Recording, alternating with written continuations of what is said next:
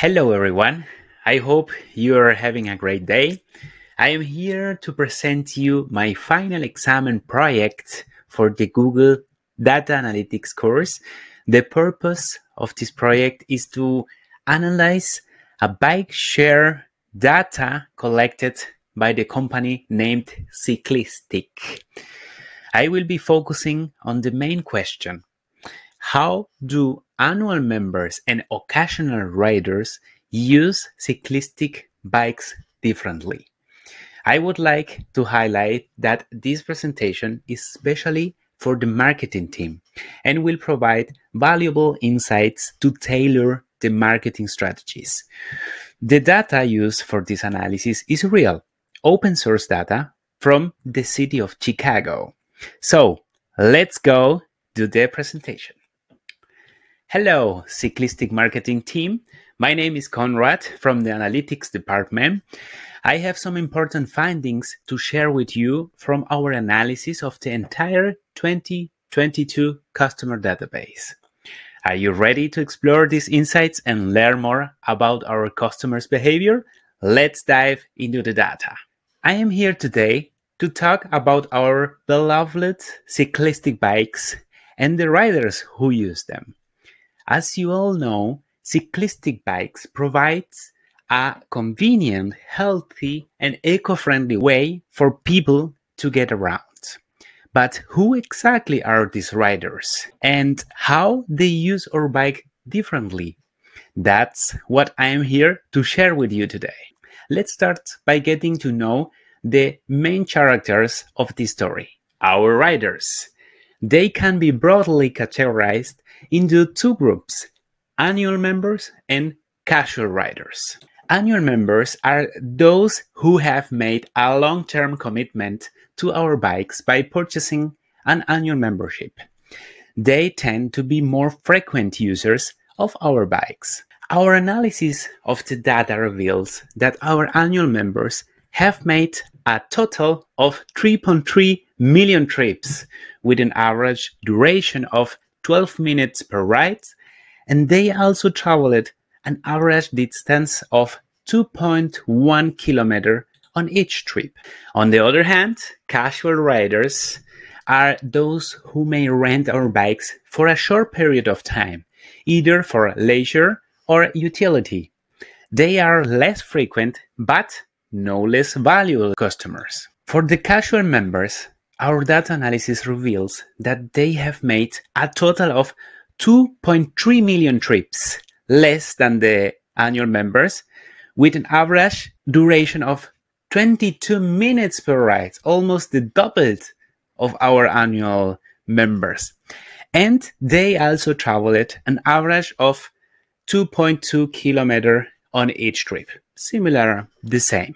Let's now take a closer look at the data through some graphical analysis to understand the differences in usage patterns in the year of 2022. By looking at the number of rides by day of the week, we can see that annual members have a consistent pattern of bike usage throughout the week, with a slight dip on the weekends. On the other hand, Casual riders tend to increase their usage during the weekends. And when we look at the number of rides by months of the year, we can observe a significant difference in the behavior of annual members and casual riders also. During the summer months, both groups tend to utilize our bikes equally. But, and here is a big but, during the winter months, it's clear that the annual members rely on our services much more heavily using our bikes at a rate of five times greater than the casual riders. In this graph, we can observe the usage patterns of our bikes by the number of rides and time range in a day.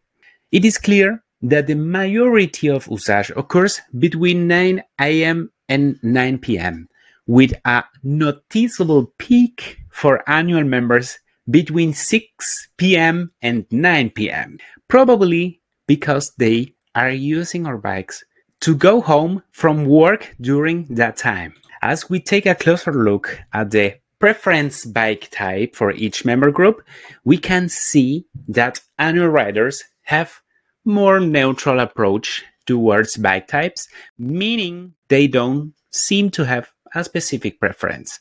On the other hand, we observe that casual members have 20% more preference for the electric bicycles, which reinforces our theory that they use it for more recreational purposes. To conclude our analysis, I'd like to present you top four recommendations for the marketing team. Our first recommendation is to take advantage of the increased usage by casual riders during the summer months. We observe that while the number of trips made by casual riders is comparable to that of the annual members, the usage time is nearly the double. This presents an opportunity for the marketing team to target these casual riders with promotional offers on the advertisement during the summer month. Our second insight highlights the importance of understanding the seasonal fluctuations in our business. While winter may be a slow season for bike usage, our annual members play a critical role in maintaining steady revenue for the company. As these members form the foundation of our business, it's crucial for us to understand their behavior and preferences. By offering loyalty programs and providing outstanding customer services, we can secure their continued support for our company. Our third insight is the high usage of bikes by annual members during the after work hours. This presents a prime opportunity to target this segment by offering incentives such as discounts and promotions for both their morning and evening commutes. By doing so, we can not only increase overall usage and revenue, but also better serve this important group of customers. Fourth and last finding is that casual members have a preference for electric bikes over traditional ones, suggesting they use our bikes for leisure activities. To appeal to this segment, we can focus on promoting our updated fleet of electric bikes and showcasing the benefits of healthy, eco-friendly, and effortless way to explore the city of Chicago. So, to recap, we found that annual and casual riders use our bikes differently. And by understanding these differences, we can cater to their needs. We also discovered the importance of considering seasonality, where summer presents opportunities for growth and winter for building strong relationship with loyal customers. Now that we have reviewed the results of our analysis, it's time for a Q&A session. I'd be happy to answer any questions you may have regarding to our findings or to this presentation. Thank you very much.